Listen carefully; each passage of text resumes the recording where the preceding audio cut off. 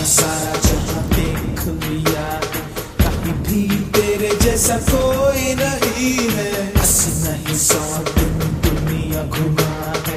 नहीं कहीं तेरे जैसा कोई नहीं। मैं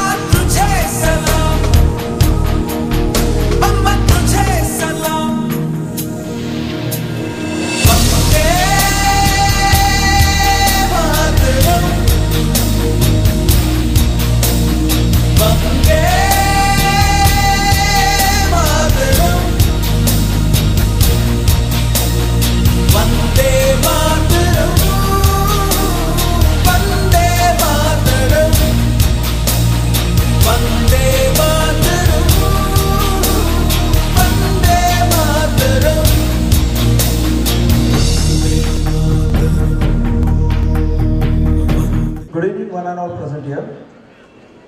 Our guest of honor for today's function is an Indian television and film actor best known for portraying strong dynamic characters. उनके बारे में बोलने से पहले मैं उनका वो नाम बोलना चाहूँगा जो मुझे और हमारे सारे स्टूडेंट्स को बहुत पसंद है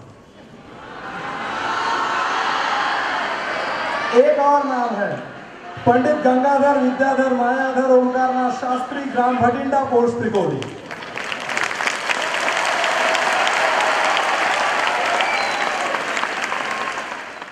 Now, I request our guest of honor, Sri Mukesh Khanna, to motivate our students with his precious words.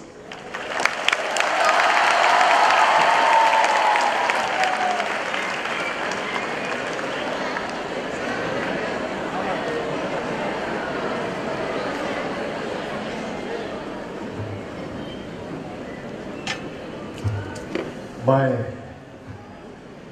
सभी राम दंडी के स्टूडेंट की दुविधा समझ सकता हूँ, पुत्र।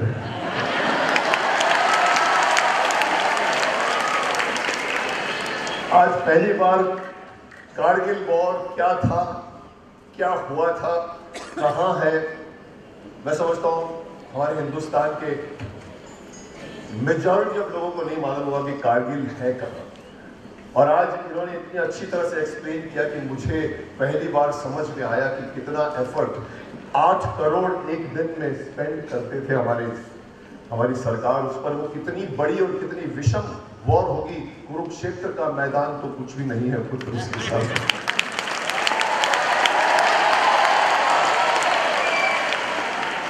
परंतु आई नो राम दंडी वालों के लिए it became to health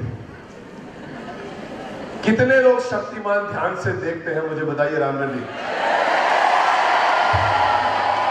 Shaktimaan ने पहला मंत्र दिया था sit tallest stand tallest walk tallest जब भी बैठो, सीधे बैठो। जब भी खड़े रहो, सीधे खड़े रहो। और जब भी चलो, सीधे चलो। फुल हाइट का इस्तेमाल करो। यहाँ मैंने बच्चों को देखा धीरे धीरे ऐसे ऐसे ऐसे ऐसे। मैं समझ सकता हूँ आपकी दुविधा, क्योंकि कारगिल वॉर इतना हैवी आपके ऊपर आ गया था कि आप थक गए होंगे। लेकिन आप मिलिट्री स्कूल के हैं, इसीलिए मैं आप लोगों से ये डिमांड कर रहा हूँ कि जब भी बैठो सीधे बैठो। Use your spinal column should remain straight और अगर आप ज़िंदगी भर ऐसा रहोगे, कोई बीमारी आपको तंग नहीं करेगी।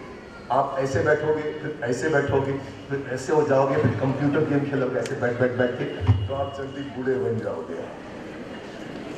मैं कारगिल इस शहीद दिवस पर यहाँ पर भोसला मिलिट्री स्कूल के सभी आए हुए यहाँ पर भाइयों को, बहनों को, माताओं को, पिताओं को मंच पर बैठे हमारे सीमा की सुरक्षा में लगे हुए योद्धाओं को और मेरे छोटे मोटे प्यारे सभी बच्चों को मुकेश खन्ना की ओर से प्रणाम।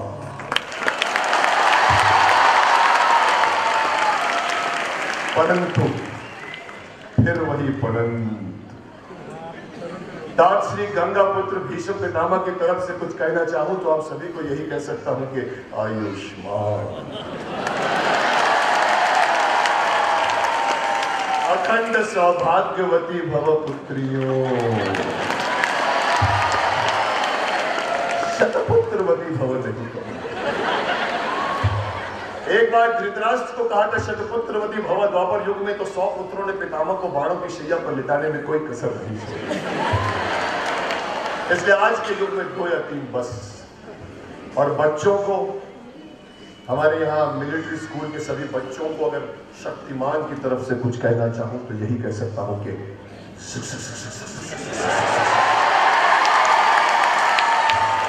वो बच्चा सोच रहा है कि अभी तक उड़ के क्यों नहीं मेरे साथ यही दुविधा पुत्र, मैं एक साथ दो दो रूप लेकर जी रहा हूँ। Two distinct identities I have to carry every moment of my life my existence मेरे सामने मेरे से डबल उम्र की माता जी आके खड़ी हो जाती है ऐसे करके। मैं बोलता हूँ माता जी आप बुज़ुर्ग हैं, आप आशीर्वाद दीजिए। बोलते नहीं तमें तो पितामा छो, हमारी बहू छे, मुझे बोलना पड़ता है और साथ में ये भी कहती है कि हम तो आपको पितामा के रूप में जानते हैं, ये बच्चा पागल है आपके लिए शक्तिमान के लिए। और बच्चा ऐसा करके देखता रहता है मेरे को। फिर मेरा कोट पकड़ के कहता है उड़ के दिखा कोई बच्चा मेरा स्कार्फ पकड़ के कहता है जादू करके दिखा मैंने मैं बोलता चुप कोई जादू नहीं होता कोई उड़ना नहीं होता सब कंप्यूटर में। मुझे पता लगा कि मिलिट्री आपका स्कूल भोसला मिलिट्री स्कूल 96 में शुरू हुआ आपके वहाँ उस वक्त कितने स्टूडेंट निकले थे? 45 स्टूडेंट्स निकले थे। मैं आप लोगों को एक अच्छा कोइंसिडेंस बताऊँ कि शक्तिमान का जन्म 97 में हुआ था। तो मैं समझता हूँ शायद मैं भी यहाँ के मिलिट्री स्कूल से निकला हुआ होऊँगा एक साल It's a great thing for me to have on this particular day, which is which is just three days away from my birthday. तेईस तारीख को अभी मैंने जन्मदिन मनाया। शायद 26 को होता तो अच्छा होता मेरा जन्मदिन क्योंकि ये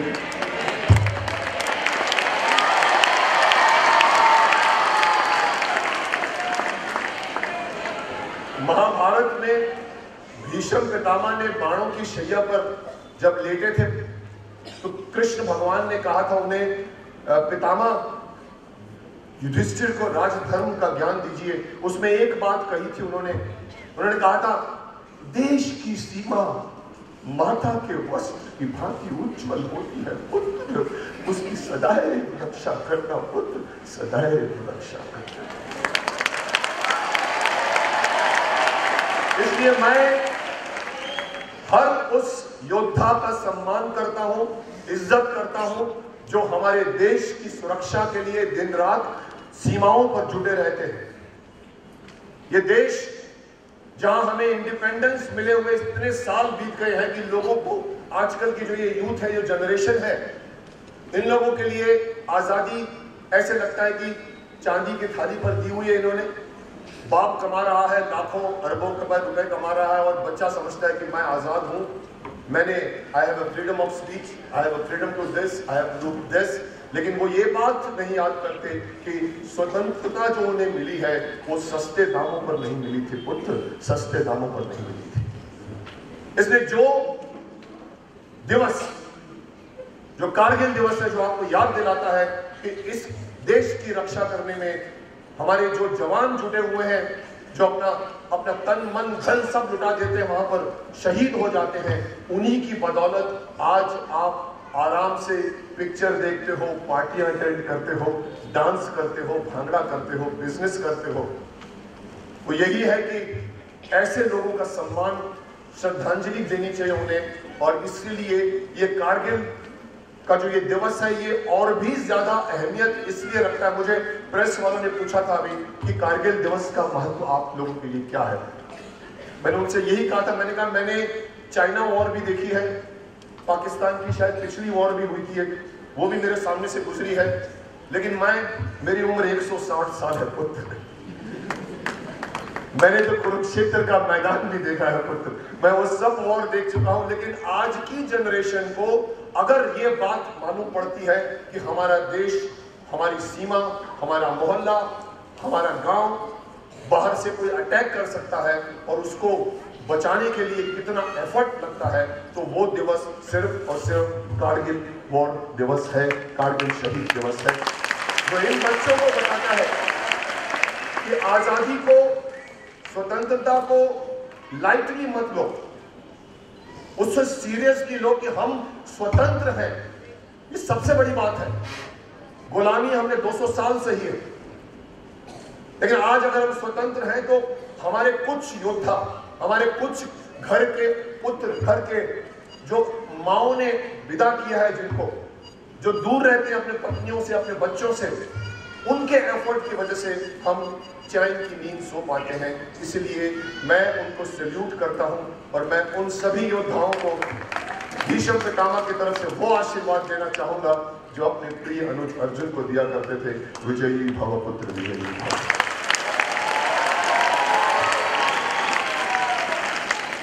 मुझे खुशी है कि मैं इस स्कूल और मैं ये बताना चाहूँगा कि अगर आप लोग मिलिट्री स्कूल के हैं, आज देश को मिलिट्री सैनिकों की आवश्यकता पहले से ज़्यादा है। हम डिस्कस भी कर रहे थे यह बात निकली थी, जो मेरे जमाने में भी निकली थी I M B S C L L B मैंने बी एस सी किया था, इंजीनियर बनने के लिए, और लॉ किया था लॉयर बनने के लिए नहीं एक्टर बनने के लिए। मेरी ज़िंदगी में शायद आयुष्मान भव कहना लिखा था, इसीलिए मैं इंजीनियर नहीं बन सका।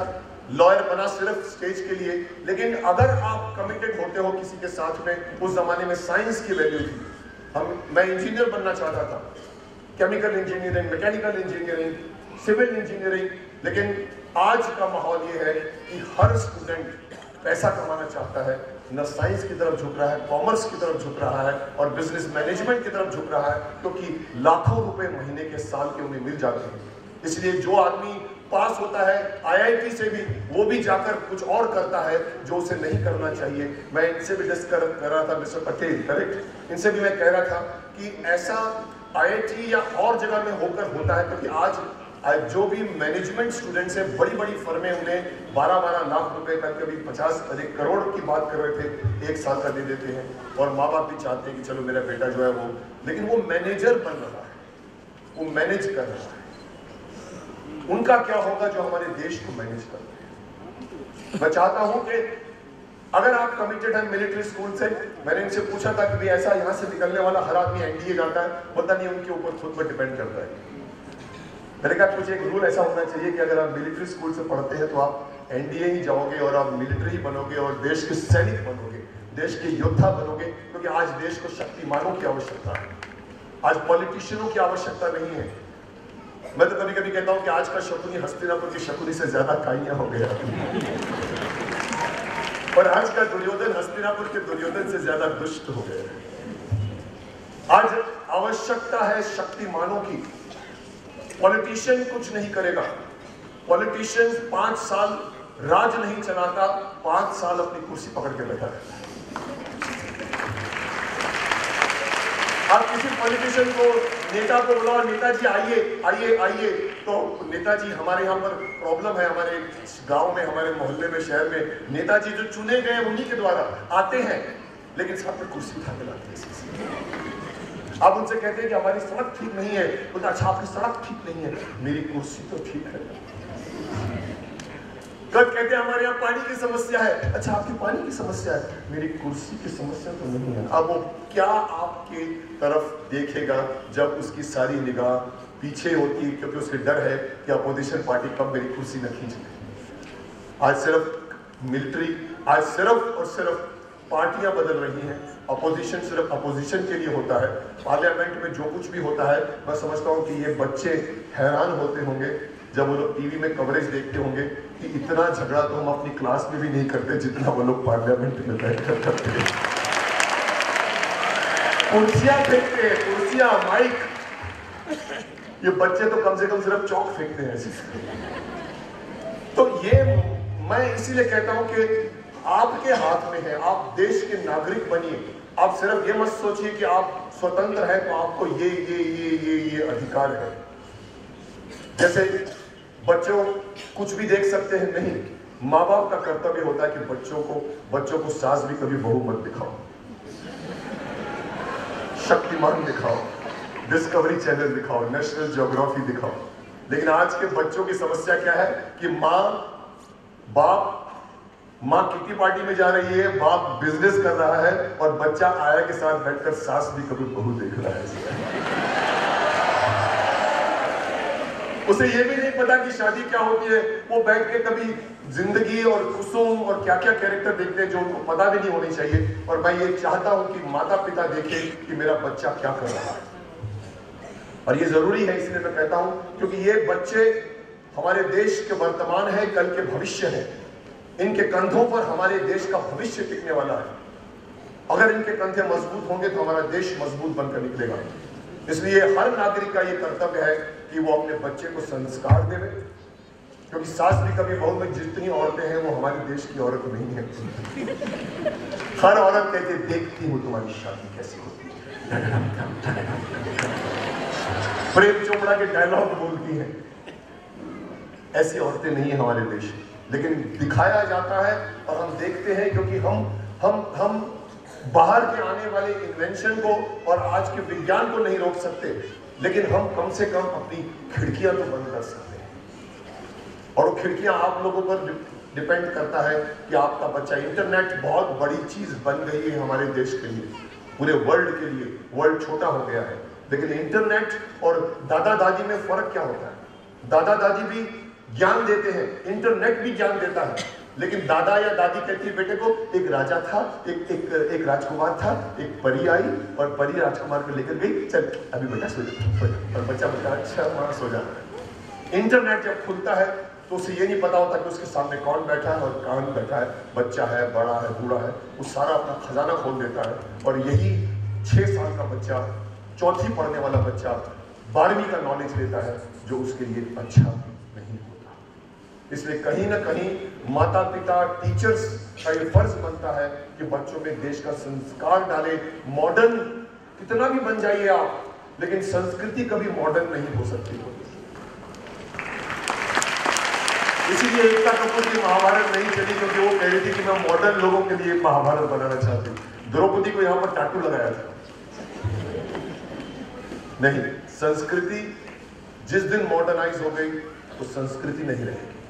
अब भले जितना भी मॉडर्न हो जाओ आईटी इंडस्ट्री में आप डिफरेंट गैजेट्स यूज़ करो, लेकिन आप सुबह उठकर अपने बड़ों के पैर छुओ दिन की शुरुआत करो, बड़ों से बड़ों से आशीर्वाद लेकर वो संस्कृति मत फॉलो करो जहाँ पर वेस्टर्न में मॉम और पॉप को ओल्ड मैन ओल्ड लेडी बोलते हैं।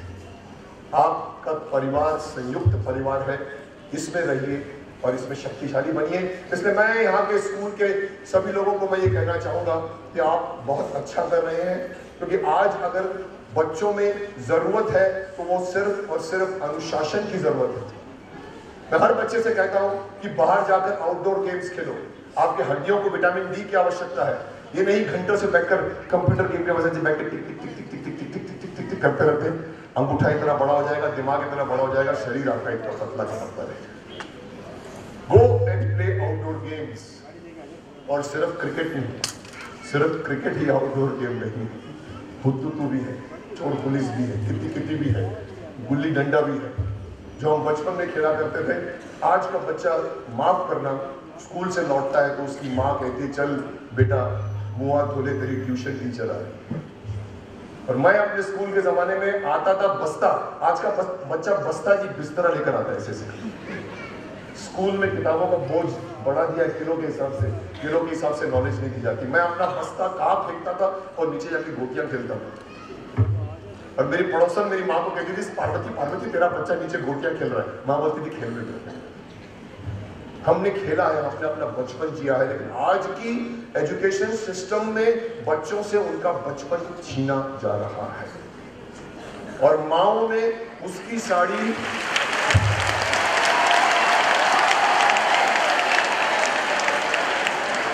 आज की मम्मियों में, माओ में, उसकी साड़ी, मेरी साड़ी से ज़्यादा सफ़ेद क्यों का कॉम्प्लेक्स है? मेरी सहेली का बच्चा नंबर टू पर आया है और मेरा बच्चा आठवीं पर आया तो कान पकड़ के कहती, पट पट पट पट। बच्चा बोलता, पट पट पट पट डोंट डू दैट हर बच्चे में अपने अपने अलग अलग ग्रास्पिंग पावर होती है। उसको आप पढ़ने दीजिए हँसते हँसते खेलते खेलते पढ़ाइए। और मुझे ये अ, अ, मैं समझता हूँ कि हौसला मिलिट्री स्कूल में जहाँ पर लोगों को सिर्फ़ पढ़ाया ही नहीं जाता खिलाया भी जाता है और उनको हँसते हँसते खेलते खेलते पढ़ाया जाता है। लेकिन मैं अपनी ज़िंदगी का एक छोटा सा रहस्य आपको बता रहा हूँ क्योंकि यहाँ पर काफ़ी स्टूडेंट्स हैं और मैं उनको ये बात छोटी सी बताना चाहूँगा कि इस मम्मी के कॉम्प्लेक्स में ज़्यादा मत घुसिए क्योंकि मैं स्कूल में अपनी क्लास में सत्ताईसवां नंबर आया था। पचास स्टूडेंट में मैं सत्ताईसवां ट्वेंटी सेवेंथ नंबर में पास हुआ और मेरे भाई साहब अमेरिका में थे और मैंने लेटर लिखा मैं क्लास में सत्ताईसवां नंबर आया। कोई शर्म नहीं थी, कोई झिझक नहीं थी। उसी स्टाइल से मैंने लिखा, जैसे आज का बच्चा बोलता है, मैं फ़र्स्ट आया हूँ बोलता मैं सेकंड आया हूँ, मैं थर्ड आया हूँ। मैंने लिखा, मैं सत्ताईसवां नंबर आया। और आज वही मुकेश खन्ना ज़िंदगी के उस मुकाम पर है जहाँ बहुत से लोग पहुँचना चाहते हैं। तो मैं उसलिए उस मुकाम पर इसलिए नहीं पहुँचा कि मैं एसएससी में फ़र्स्ट आया, इसलिए नहीं कि मैं बीएससी में फ़र्स्ट आया, इसलिए नहीं कि मैं एलएलबी में फ़र्स्ट आया, इसलिए कि मैंने ज़िंदगी का एग्ज़ाम पास किया है। इसलिए मैं चाहूँगा टीचरों को भी कहना चाहूँगा माता पिताओं को भी कहना चाहूँगा कि अपने बच्चों को सिर्फ़ एसएससी में फ़र्स्ट आने के लिए मत उकसाइए। ज़िंदगी के एग्ज़ाम के लिए तैयार कीजिए और मुझे आशा है कि भोसले मिलिट्री स्कूल में बच्चों को ज़िंदगी का एग्ज़ाम लड़ने के लिए ट्रेन किया जाता है। आप सभी बच्चे शक्तिमान हैं, मेरे दोस्त हैं और पंडित गंगाधर विद्याधर मायधर ओंकारनाथ शास्त्री के भी दोस्त हैं। एक सवाल आखिर में एक सवाल पूछूँगा आप लोगों से। अलाउड है? कितने बच्चे शक्तिमान ध्यान से देखते हैं, ज़ोर से बोले, हम! ये मिलिट्री स्कूल की आवाज़ की शक्ति नहीं है, बोले ज़ोर से, हम! कितने बच्चे शक्तिमान से सीखते हैं, ज़ोर से बोले, हम!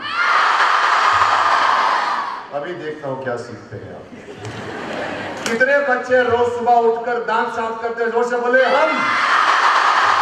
कितने बच्चे रोज सुबह उठकर दूध पीते हैं। कितने बच्चे सुबह उठकर बड़ों के पैर छूते हैं। कितने बच्चे बालों में तेल लगाते हैं। कितने बच्चे नकल मारते हैं।